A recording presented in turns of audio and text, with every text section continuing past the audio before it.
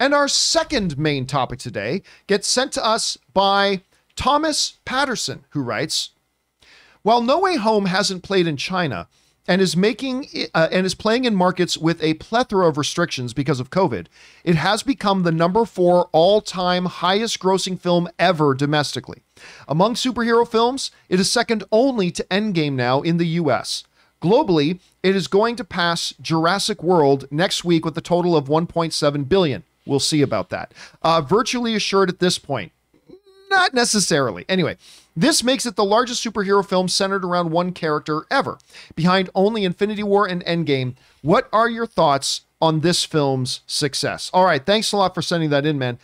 And yeah, look, we've been talking a lot about Spider-Man No Way Home for uh, for obvious reasons. It has been right. the biggest thing that has happened in the world of movies and movie theaters and movie fandom in years, literally in years. Like not since the uh, the Rise of Skywalker, uh, the Rise of Skywalker opened in 2019. Have we had a movie that was going to be anywhere near this big? And it, it shattered box office expectations. It's been having a huge run. Obviously, just now, this movie opened December 17th. So this is a month ago. And just now it's been dethroned at the box office by by Scream, obviously. It has been huge and the accolades continue because just like they wrote in the email, it has now, as of today, become the number four all time box office movie domestically ever during a pandemic. When there are some places, I mean, not many, but some places where theaters aren't open, certain restrictions in other places, and yet it has done this. To get a sense, let's put this into context here. Take a look at this. These are the biggest domestic films of all time. Number one, and honestly, I feel weird saying this, Rob. It's never going to be caught.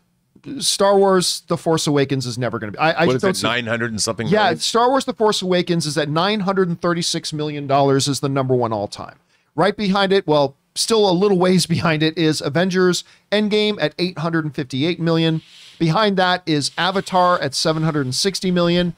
And now in number four, just passing Black Panther at 700 million, we've got Spider Man No Way Home at 704 million. And this is where it's going to stay. It's not going to catch Avatar at this point. Um, and I don't, it might get to 1.7 billion worldwide. It may not, whatever. But, Rob, I think even the most optimistic of people, the most optimistic people, going into Spider-Man, a lot of people thought it could make a billion. I don't think there were a lot of people who would have thought, under the current circumstances, it could get into the top five domestic of all time, let alone pass Black Panther and sit in number four. Which, by the way, that now means three of the top five biggest domestic box office films of all time are all Marvel films. So, so there you go. But still, it's an incredible accomplishment. And the very fact that even now, um, Rob, under great circumstances, a movie still pulling in 20 million a weekend, which is what Spider-Man made this weekend, a movie pulling in 20 million a month after it opened, that's impressive. And, and I just feel like that's a word we've had to use about Spider-Man No Way Home so many times. Impressive, impressive, impressive. Now, I feel like the, the gas has almost run out. We, we now do see it. It's it's in its waning days now. It's going to be wrapping up here soon, but it's not going to catch Avatar, and that's fine. We'll see if it catches the dinosaur movie worldwide or not. But Rob, I think we're going to have to look back on this for years to come and reflect on this is a movie that performed that well when no movies could live up to their potential. Like even some movies that have done fairly well, Fast Nine did fairly well at the box office. Uh, a, number of other films did fairly well at the box office, but none were able to truly live up to their full potential given the circumstances. I think Spider-Man: No Way Home exceeded them. Rob, as you look back now, and the way you're going to look back on this movie historically and putting it into context, how impressive is it what it was able to accomplish here, and, and how many more legs? How much more legs do you think it has moving forward?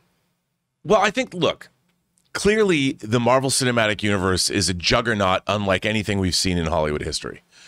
Spider Man is one of the most beloved superhero characters of all time. Uh, we all grew up with him. Everybody grows up with him. I mean, heck, I remember when Spider Man was on the Electric Company, you know, when I was in the 70s. And Spider Man is one of those characters that I think we see, everyone again sees part of themselves in that Spider Man character. And it's he's incredibly popular. And this film, and I hate to say it, but there was a gimmick in this film not just all of the villains. Obviously, I think we could say now that we brought in other iterations, or they brought in other iterations of Spider Man from different iterations of the character, which is now also never been done before. So there's there's a way that they've made these movies fresh and unique for audiences. And I have to say, John, I think the reason this movie is as successful as it is, is it provided audiences with an experience they don't normally get to the point where people are cheering literally cheering. Some people standing on their feet and cheering, not once, not like when Captain America gets Mjolnir. I mean, there's three or four moments in this movie where where Daredevil, well, Matt Murdock shows up, where two Spider Men show up, where the villains show up. Where if you like these movies, I mean, even I, as an old middle aged white man with one foot in the grave, I felt like a little kid watching this movie. I was giddy, and it provided an experience at the movie theaters that we don't get a lot of the time, but we're always wishing for. And I think this movie made us a promise and it delivered, and it delivered 200% of what we expected it might. And, it, it just exceeded everything in every way. And now the number four again. Let me let me bring up this thing again. Look at that. Look at the company that Spider-Man in the midst of a pandemic was able to join. It is it is past Black Panther. It is up there with Avatar, which is the number one all-time box office movie worldwide.